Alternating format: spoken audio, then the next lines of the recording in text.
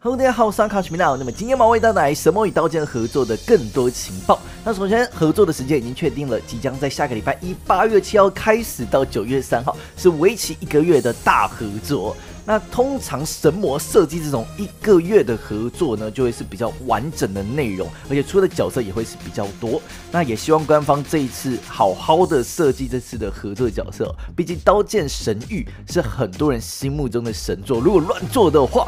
应该会被新爆吧。好，那这一次官方释出的美术图中呢，已经确定了同人跟雅斯娜的美术图了。那这个应该是最基本的一些版本哦，因为这些角色后面可能还会有进化。为什么说这次合作的角色后面会有进化型呢？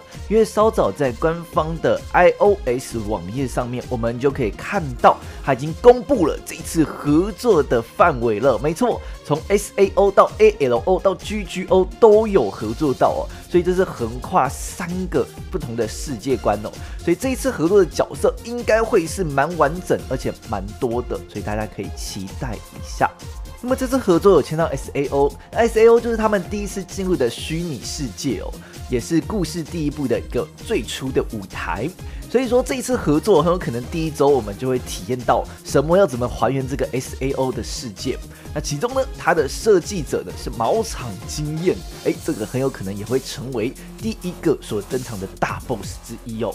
紧接着，官方有宣布，他们这次也有签到 A L O 的世界哦。那这个世界是第二部的主要舞台，并且在这个世界中呢，哎，你可以发现到他们都拥有妖精的耳朵。没错，这边他们来到了妖精的国度，并且玩家会化身成妖精而拥有翅膀，就可以在天上飞了。所以其实光看他们有签到 A L O，就大概可以推测哦，可能这一次会有一个妖精的种族会出现哦，并且。主角们都会有二段进化的感觉，那尤其是同人跟雅斯娜都会有一个不同的造型出来哦。那并且在第二部的这个主要舞台中呢，啊，其中的大 boss 就是虚香生之，所以我们终于可以看到这个变态啊不，这个诶很可爱的妖精来出现了。所以在第二部的部分呢，我想应该会在第二周或第三周时候推出。那其中呢，就会迎来一个主角上面的进化。再来，官方还有宣布，这次会签到 GGO 哦。那这个世界观呢，是第三部与外传的一个舞台哦。那其中呢，他们已经开始拿起枪，开始射射来射去了。那这个是在虚香事件后发布的 The Seed 的城市包创造的哦。那其中最大的特色呢，就是他们在游戏中的金钱可以转换成真实中的钱呢。哇，这么好！如果这边这个游戏哪边可以玩到，我也想来玩玩看呢。好，那这个其中最大的特色就是同人，有没有发现他变妹子了？哦，不对，他是伪娘哦。哦，在这个剧情中呢，同人他变成了一个长头发的造型哦，而且其中最大的特色就是有师奶的一个出现哦，他也是拿着一把枪。好所以这个世界的大 boss 呢，就是死枪，所以很有可能会推出死枪的这个 boss 哦。接着为大家介绍这次合作中很有可能会推出的角色，其中就是主角同人，这是一定会出的，因为在官方的宣传图上面就有公布了，这是最初同人的一个造型，可以看到他拿着双刀哦，呃，准备使出星爆气流斩的感觉。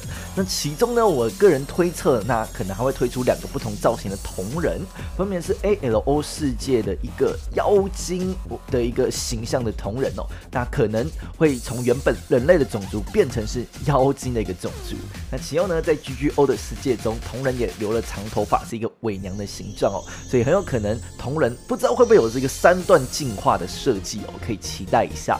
再是同人的正宫雅斯娜也是一定会出的，因为在官方的宣传图上面就有直接试出了最初雅斯娜的一个美术图哦。那其后呢，很有可能雅斯娜也会有进化型，因为在 A L O 的世界中呢，雅斯娜也有一个妖精的耳朵，那并且头发变成了蓝色哦，所以这个雅斯娜呢，可能也会有二段进化的形态。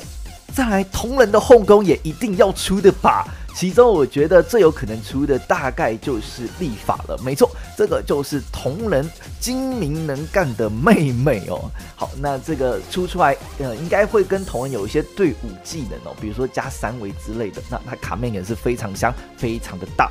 好，那其中呢，哎，后宫。之一，还有这个犀利卡。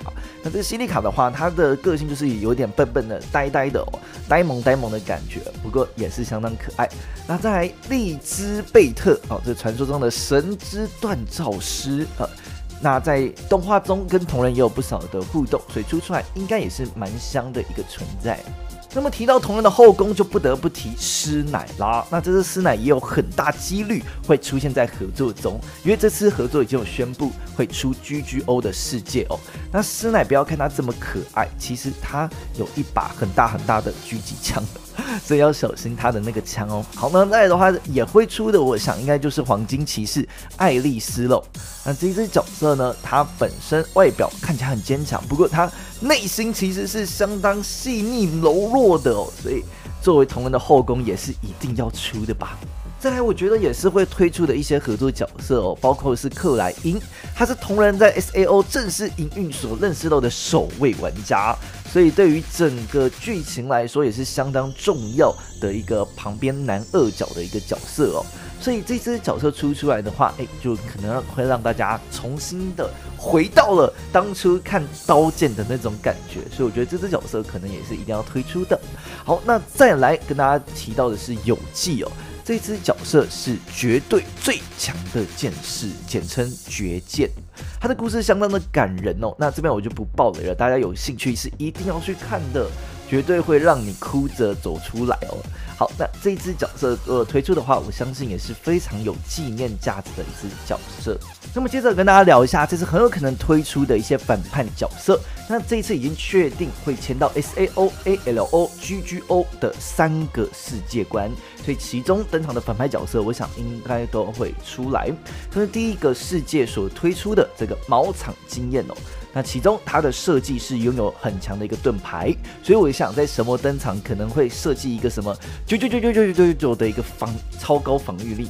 好，那再来虚香生之哦，那它是 A L O 主要的一个世界 BOSS 哦，其中它的最大特色就是变态，所以我不知道神魔要怎么还原这个变态的部分哦。不过希望可以还原原场面哦，就是虚香对于雅斯娜做的一些事情，我相信如果在神魔出出来的话。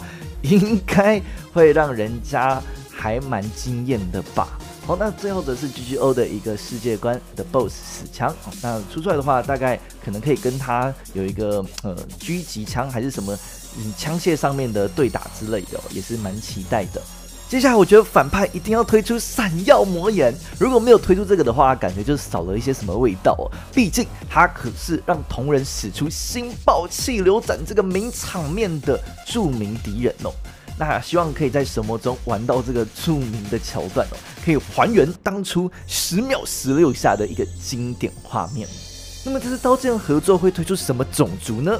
那我个人觉得很有可能会是人类跟妖精为主的一个改版哦。其中我觉得妖精很有可能就是这次改版的一个主轴之一。它其中这次合作有提到，它会推出 A L O 这个世界观，那其中同一个雅斯娜都变成了一个妖精的形状哦。那所以很有可能会是以妖精的种族去做推出。那其中呢，我们也可以从这个月份的 LV 时看到，它有一个场地特性会让妖精攻击力提升。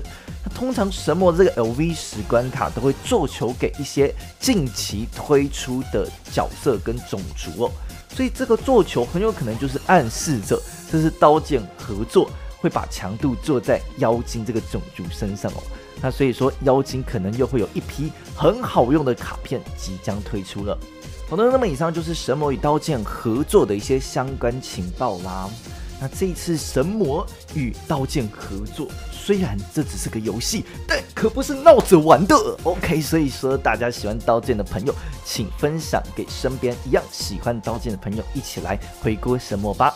那以上就今天的影片内容。如果大家还喜欢这种分析影片的话，不用按个喜欢给我们辛苦的制作团队，让我们更有动力做类似的影片。大家也不用按下你的按钮以及旁边的小铃铛，下次有新的影片就会寄通知给你。那我们就下部影片再见喽，谢谢大家，拜拜。